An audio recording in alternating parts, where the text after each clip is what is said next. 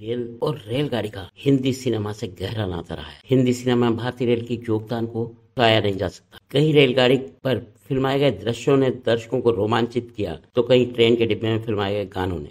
ये गाने जहाँ प्रेमी प्रेमिकाओं के बीच रोमांस को प्रदर्शित करते हैं वहीं ज़िंदगी के दर्द को भी बयां करते हैं। कहीं रेल के डिब्बे में फिल्माए गए गाने देशभक्ति के लिए प्रोत्साहित करते हैं। तो कहीं बच्चों को बहलाने के लिए छुप छुप छुप रेलगाड़ी के खेल का आनंद दिलाते हैं। लेकिन भाव कोई भी हो भारतीय रेल पर फिल्माए गए सभी गाने जीवन में बदलाव सिनेमा से का संदेश ज़रूर देते हैं। इस वीडियो में दी गई सभी जानकारी इंटरनेट आधारित जानकारी है जिसका 100 प्रतिशत सही होने का हम दावा नहीं करते हैं। मेरे हुजूर फ़िल्म रिलीज़ हुई थी 16 अक्टूबर उन्नीस सौ अड़सठ को। फ़िल्म में मुख्य भूमिका में नज़र आए जितेंद्र राजकुमार माला सिन्हा। फ़िल्म का गीत रुख से जरा नखाब उठा लो मेरे हुजूर।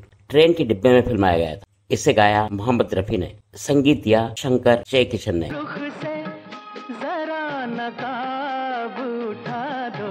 फ़िल्म के इस गीत को लिखा हसरत जयपुरी ने। गीत फिल्माया गया जितेंद्र और माला सिन्हा पर। यदि जानना चाहते हैं फ़िल्म मेरे हजूर के अननोन फैक्ट तो हमारी ये वीडियो देखें। The burning train. 1980 में आई ये फ़िल्म। भारतीय रेल पर बनी सबसे ज़्यादा रोमांचित करने वाली फ़िल्म थी। फ़िल्म का गीत पल दो पल का साथ हमारा। ट्रेन के डिब्बे में फिल्माया गया था। इसे गाया मोहम्मद रफी और आशा भोसले ने।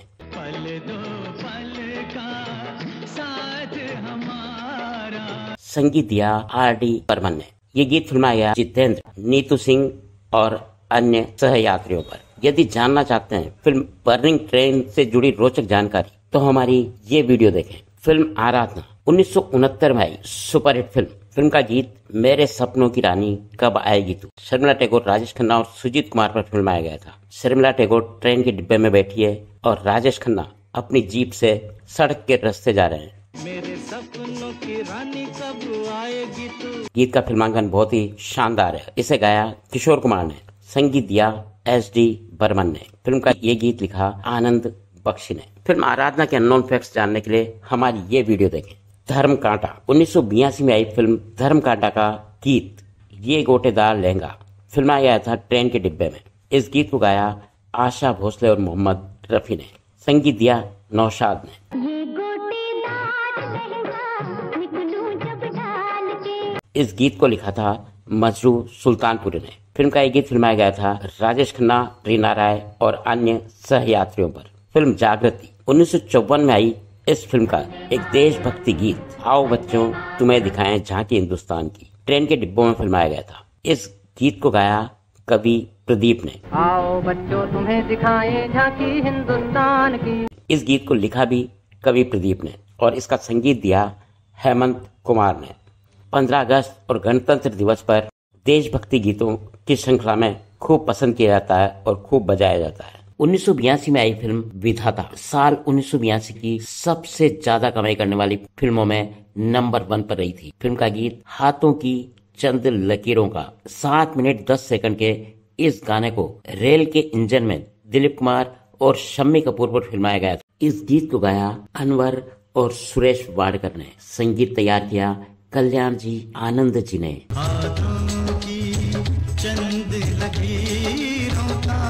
इस गीत के शानदार बोल लिखे आनंद बख्शी साहब ने। जानना चाहते हैं फ़िल्म विधाता के अननोन फैक्ट्स तो हमारी ये वीडियो देखें। 1968 में आई थी अशोक कुमार की शानदार फ़िल्म आशीर्वाद। फ़िल्म का गीत रेलगाड़ी रेलगाड़ी। ये गीत भले ही रेल के डिब्बे में नहीं फिल्माया गया, परंतु रेलगाड़ी के बारे में बहुत ही खूबसूरती से इस गीत को फिल्माएगा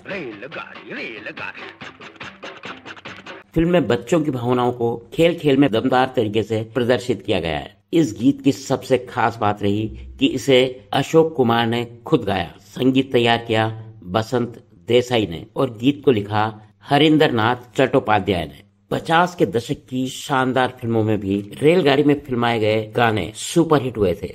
उन्नीस सौ अट्ठावन में आई फ़िल्म सोलवा साल का गीत है अपना दिल तो आवारा। इस गीत को लोकल ट्रेन में बड़ी खूबसूरती से फिल्माया गया। देवानंद और वहीदा रहमान पर फिल्माए गए। इस गीत में देवानंद वहीदा रहमान को चिढ़ाते नज़र आ रहे हैं। अपना दिल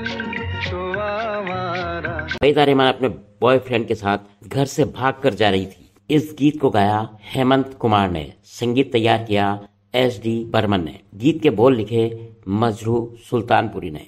1974 में आई फ़िल्म अजनबी।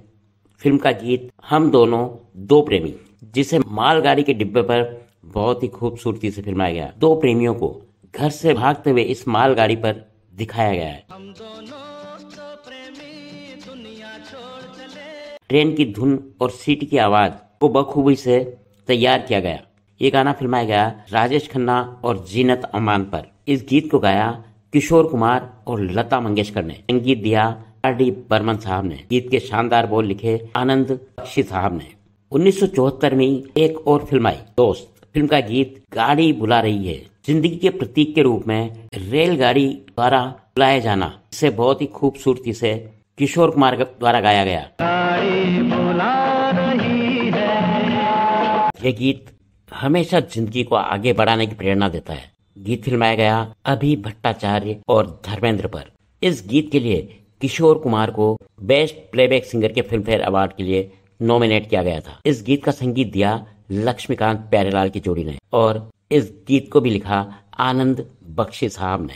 उन्नीस में आई थी फ़िल्म नास्तिक। फ़िल्म का गीत देख तेरे संसार की हालत क्या हो गई भगवान? जो इंसान की बदनीयती और बेबसी को प्रदर्शित करता है। कितना बदल गया इंसान। इस गीत को भी ट्रेन में फिल्माया गया था। भारत पाकिस्तान के पार्टीशन के हालात को बयां करता ये गीत फिल्माया गया अजीत पर। इस गीत को गाया कवि प्रदीप ने और बोल भी कवि प्रदीप के द्वारा ही लिखे गए। संगीत दिया सी रामचंद्र ने। उन्नीस सौ चौहत्तर में आई फ़िल्म आपकी कसम। फ़िल्म का गीत ज़िंदगी के सफ़र में गुजर जाते हैं। ट्रेन के डिब्बे में फिल्माए गए इस गाने को राजेश खन्ना के दर्द भरे गीतों में शुमार किया जाता है। ज़िंदगी के सफ़र में कुल छह मिनट उनतालीस सेकंड के इस गीत को राजेश खन्ना पर फिल्माया गया था, जो ज़िंदगी के असली सफ़र को दिखाता है। गीत को गाया किशोर कुमार ने। इस गीत का संगीत तैयार किया राहुल देव बर्मन ने। गीत के बोल लिखे आनंद बख्शी साहब ने। जानना चाहते हैं फ़िल्म आपकी कसम के अननोन फैक्ट्स तो हमारी ये वीडियो देखें। फ़िल्म देश प्रेम का गीत खातून की खिदमत में सलामा का जिसे गाया किशोर कुमार ने। इस गीत का संगीत दिया लक्ष्मीकांत प्यारेलाल की जोड़ी ने। गीत लिखे आनंद बख्शी ने। इस गीत को फिल्माया गया अमिताभ बच्चन पर। ट्रेन पर फिल्माए गए कौन से गीत आपको सबसे ज़्यादा पसंद आया? यदि अब तक आपने हमारे चैनल को सब्सक्राइब नहीं किया है तो बेल आइकन को प्रेस कर, आल पर क्लिक करें ताकि हमारी आने वाली वीडियोस की नोटिफिकेशन आप तक पहुँच सके।